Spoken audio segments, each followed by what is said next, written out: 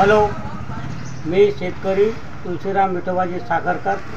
शासनाने जे धान्य बंद करून पैसे देण्याचा जो निर्णय घेतला ते संपूर्ण चुकीचा आहे. कारण का पैसे थोडी खाणार आहे. लोकांना धान्य धान्य हेच पाहिजे. धान्य गहू डाळ अमुक जे काही. आता सीधा वाटप भेटणार होता. हा? आनंद सीधा वाटप. गुढीपाडव्याच्या पहिले तोसुद्धा भेटला नाही. असं सरकारचं हे धोरण आहे. म्हणून ते पैसे पैशाऐवजी आम्हाला अन्नधान्य हवे आहे. तुमचं नाव सांगा. नामदेव आनंदराव शेंडे.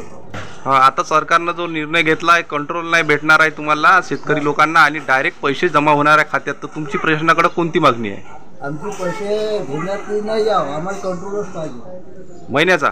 महिन्याचा. का का भेटते तुम्हाला? आम्हाला फक्त गहू भेटते तांदूळ.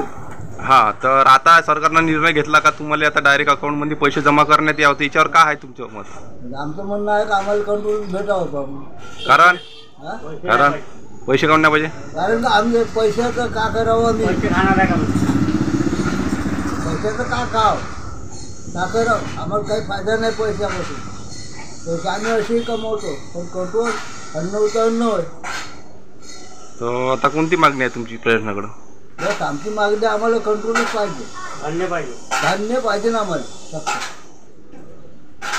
चौथी पंडित सरकारने जी योजना काढली खात्यावर पैसे जमा करण्याची धान्याची ते आम्हाला परवडणार नाही.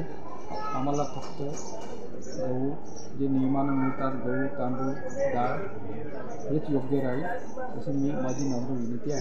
प्रशासनाकडे कोणती मागणी आहे तुमची आता? सरकारनं जर निर्णय घेतला आहे की दोन फॉर्म आले कंट्रोलमध्ये एक आला आहे पैशाचा जमा व्हायचा आणि एक धान्याचा तुमची कोणती मागणी आहे सरकारकडे? माझी धान्याची मागणी आहे. म्हणजे नियमित तुम्हाला कंट्रोल भेटावं. हो. अजून काही शासनाकडे मागणी आहे का.